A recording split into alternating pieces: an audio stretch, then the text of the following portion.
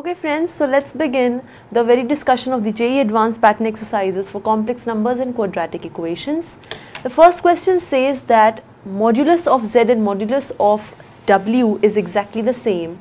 Here, if it is equal to k and alpha is given by z minus w bar upon k square plus z w bar, then real part of alpha is what?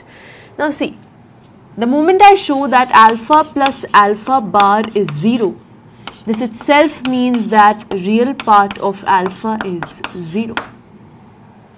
Right? Keeping this in mind, if I consider alpha bar, if alpha is this, alpha bar is z bar minus w bar bar which is w upon k square bar which is k square plus z bar w bar bar which is again w. Right? Now it is given to you that mod z equals mod w equals k. Mod z equals mod w equals k. This means mod z square equals mod w square equals k square. This is zz bar. This is ww bar equals k square. So z bar is k square by z and w is k square by w bar. So here if you incorporate those values z bar is k square by z, w is k square by w bar whole upon k square plus z bar into w. So z bar is k square by z and w is k square by w bar. Simplify this what do you get is alpha bar is k square common w bar minus z whole upon again you can see k square zw bar plus k square into k square. So k square can come out common and this is what you have. This gets cancelled you are left with w bar minus z upon zw bar plus k square which is nothing but minus alpha. Once you get this, you have got alpha plus alpha bar is 0 which means real part of alpha is 0 and the question was what is the real part of alpha and so your answer is that it is 0. Clear? Moving on to the next question we have if z1 or z and z2 are z1 itself are non-zero complex numbers such that mod z1 equals mod z2 equals mod of z1 plus z2 then z1 by z2 can be what all values among these. See now over here you need to very clearly understand that mod of z1 by z2 is actually equal to mod z1 upon mod z2. So if you are given this, this means mod of z1 by z2 is actually 1 and you are also given this. That means mod of z1 plus z2 upon mod z2 is 1. This can be written as whole mod of z1 by z2 plus z2 by z2 that is 1. So what do you mean by this equals this which is equal to 1? That means I can write this as z1 by z2 minus 0 plus 0 iota equals z1 by z2 minus minus 1 plus 0 iota and this is equal to 1. This means Z1 by Z2's distance from this complex number is same as its distance from this complex number which is 1. That means Z1 by Z2 lies on the perpendicular bisector of the line segment joining 0 plus 0 iota and minus 1 plus 0 iota. So if that is the situation, it's pretty simple to understand. This is 0 plus 0 iota or 0 comma 0 ordered pair. This is say minus 1 plus 0 iota then the perpendicular bisector is this what is this point? minus half comma 0 z1 by z2 is a complex number lying somewhere on this line z1 by z2 lies on the perpendicular bisector of the line segment joining minus 1 comma 0 and 0 comma 0. That means real part of z1 by z2 for sure is minus half. So what is z1 by z2? It is minus half plus some a times iota. I don't know what this is. But I know that z1 by z2's distance from 0 plus 0 iota is 1. This means magnitude of z1 by z2 is 1. So it means square root of this square plus this square is 1 or I can say 1 by 4 plus a square is 1 square which is 1. So a comes out to be a square is 1 minus 1 by 4 which is 3 by 4. So a is plus minus root 3 by 2. If a is plus minus root 3 by 2 z1 by z2 is coming out to be minus 1 by 2 plus minus root 3 by 2 iota 1 by 2 you take out common you have minus 1 plus minus root 3 iota which is nothing but omega and omega square. So z1 by z2 is coming out to be option number B and C which is omega and omega square. Next question let's see what is it. Modulus of complex number whose reciprocal is given by the first column is what? Match it with the complex numbers given in the second column. Let's do it. First complex number is 1 upon a plus 1 upon b plus iota c. If you take out the exact complex number, it is b plus iota c plus a. So it is a plus b plus iota c upon a into b plus iota c. This is my reciprocal complex number. So mod of this is mod of this which is mod of the numerator upon mod of the denominator. Mod of the numerator is under root a plus b whole square plus c square and denominator is mod a common and then magnitude of b plus iota c which is b square plus c square is 1 by mod z. So mod z will be what? It is mod a into under root b square plus c square upon under root a plus b whole square plus c square. So mod z in this case turns out to be mod a times b square plus c square under root upon under root is a plus b whole square plus c square. So a gets matched to r. Clear? Then you have 1 upon a minus iota b minus 1 upon a minus iota c. Let's do that.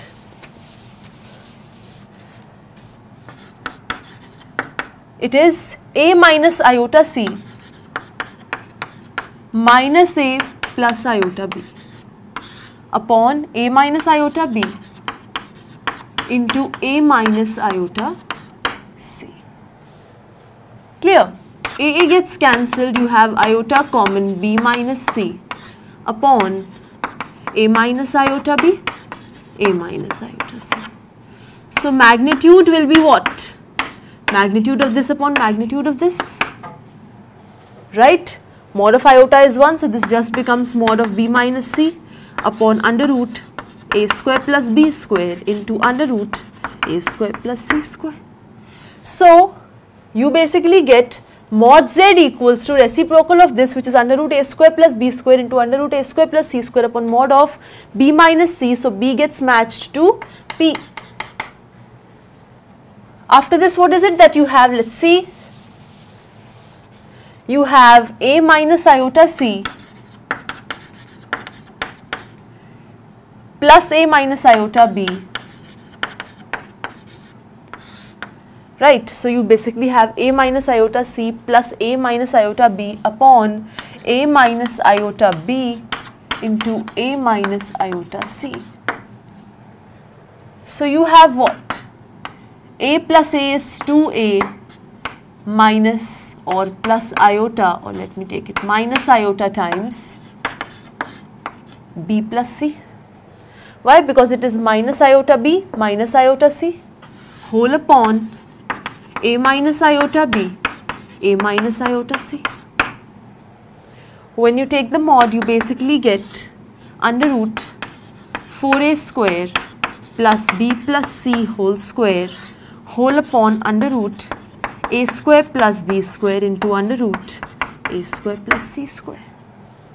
Right? So, over here if you try to understand from here what I can do is if you see r yes so r and q have already been taken I am left with what this is p so R and P have already been taken, I am left with Q and S. If you try to understand what is this particular point trying to say, it is saying 1 upon A minus iota B plus 1 upon A minus iota C.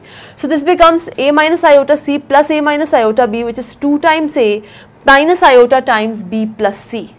So it is A plus A minus iota times b plus c okay try to decode how basically you are going to move ahead with this step to actually match it to the correct entry in the second column and then we are going to get back with the question okay guys so in here there is a small correction here it will be b upon a plus iota b plus c upon a minus iota c. Now if you try to decode the correct option, what would that become? It will be 1 by z means ab minus iota bc plus AC plus iota BC whole upon A plus iota B into A minus iota C. This gets cancelled, you are left with A times B plus C upon A plus iota B into A minus iota C. This is 1 by Z. So, the magnitude will be magnitude of this upon magnitude of this which will be what magnitude of A magnitude of B plus C upon under root A square plus B square into under root A square plus C square.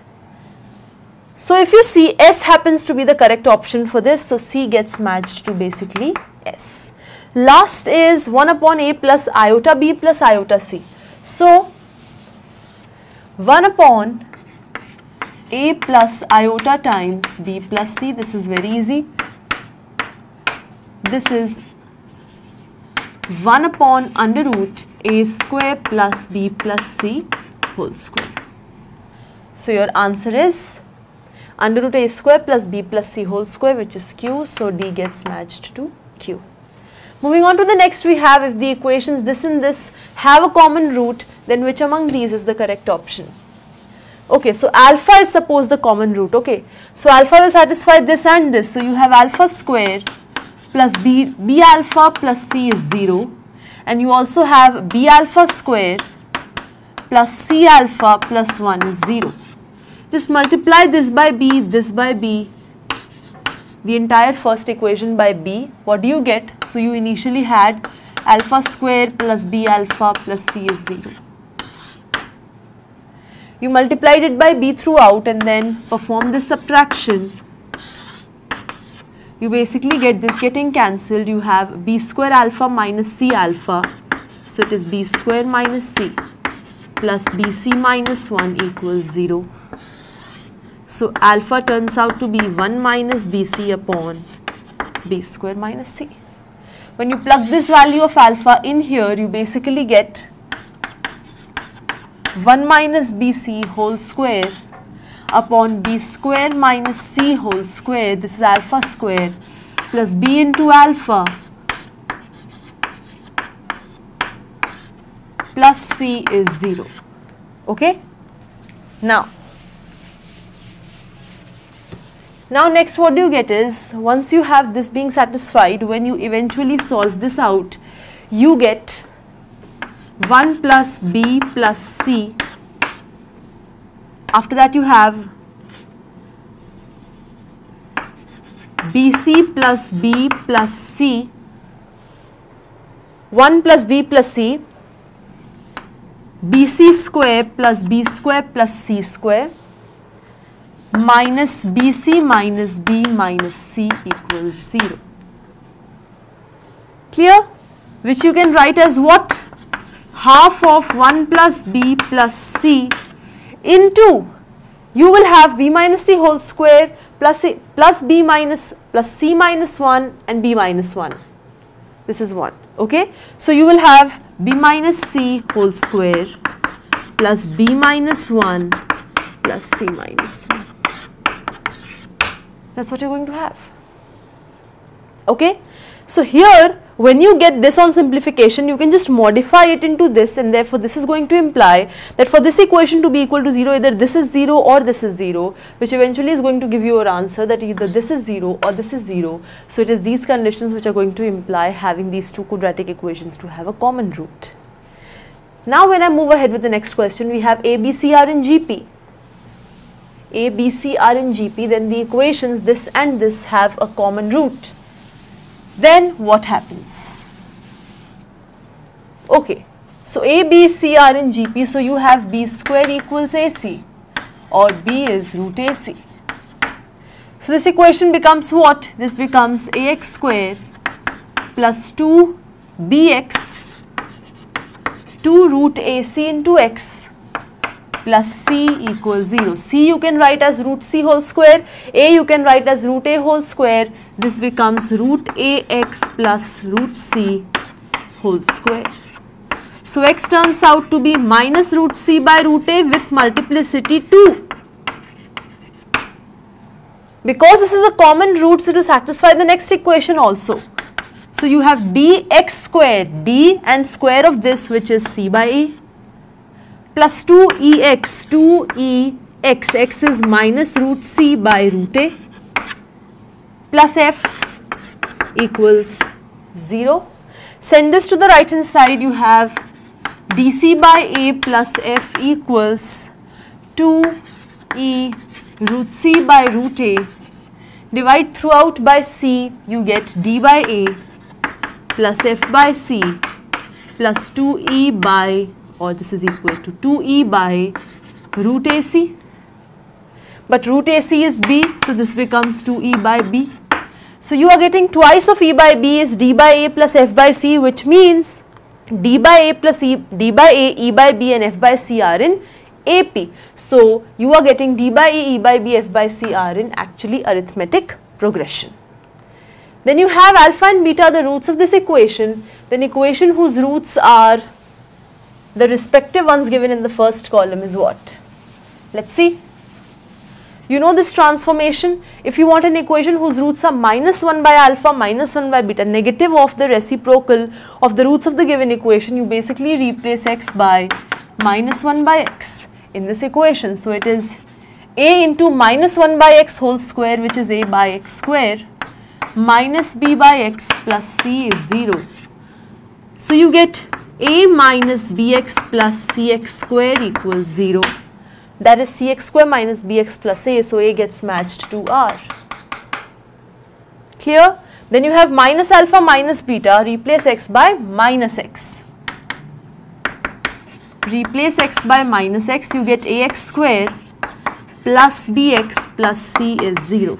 So you get ax square minus bx plus c. So this gets matched to s b gets matched to s alpha square beta square replace x by root x. So you get a root x whole square plus b root x plus c is 0. So you get ax plus c equals minus b root x.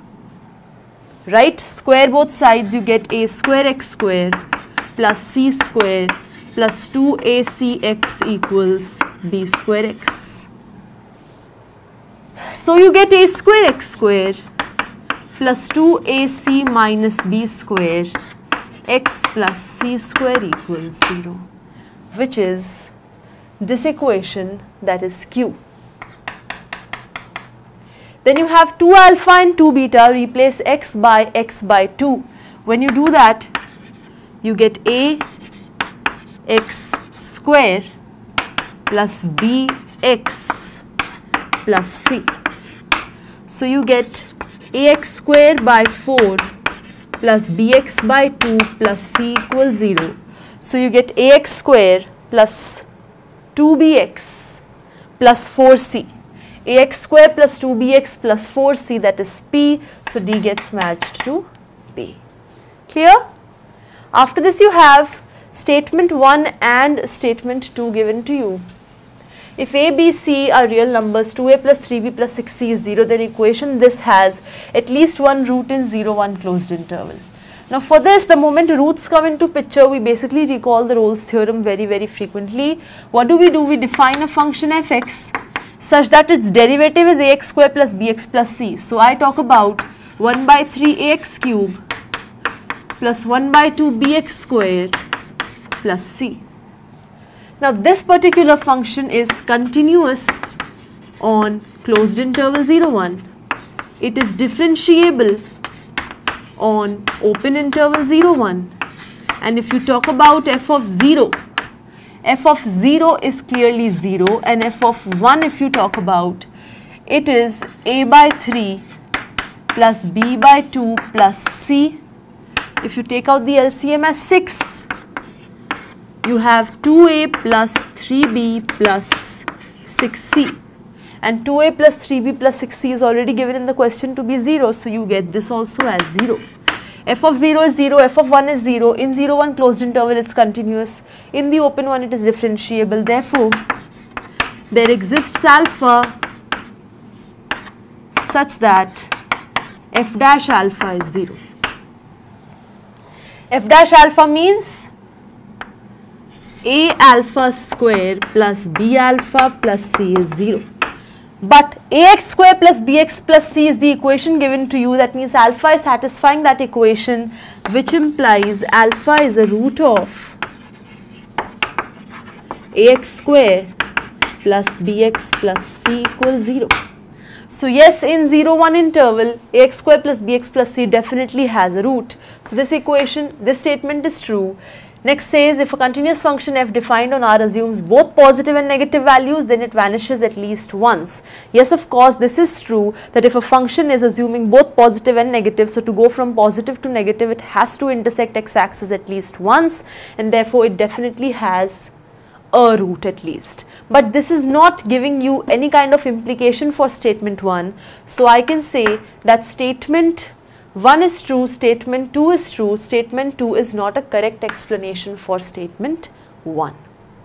Let's move on to the next question again it is related to the statement.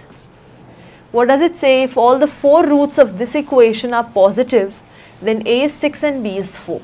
Let's see. All the 4 roots of this are positive. So let x1, x2, x3 and x4 be the 4 roots. They are all positive you know that sum of the roots will be what? It is minus of coefficient of x cube upon coefficient of x to the power 4. So, minus of minus 4 by 1 which is 4 and if I talk about the product of the roots, it is constant term upon coefficient of x to the power 4 which is 1 upon 1 which is 1. So, I can say 1 upon 4 times x1 plus x2 plus x3 plus x4. What is this this is arithmetic mean of the four positive numbers. What is this? This is 4 so 1 by 4 into 4 is 1 and if I talk about x1 into x2 into x3 into x4 to the power 1 by 4 this product is actually 1 1 to the power 1 by 4 is 1 this is also 1 and this is nothing but geometric mean of x1, x2, x3 and x4. Both of them are coming out to be the same. Arithmetic mean comes out to be equal to geometric mean if and only if all these terms are equal to 1. Right? And therefore, my equation whose roots are these 4 becomes what? x minus 1 whole to the power 4.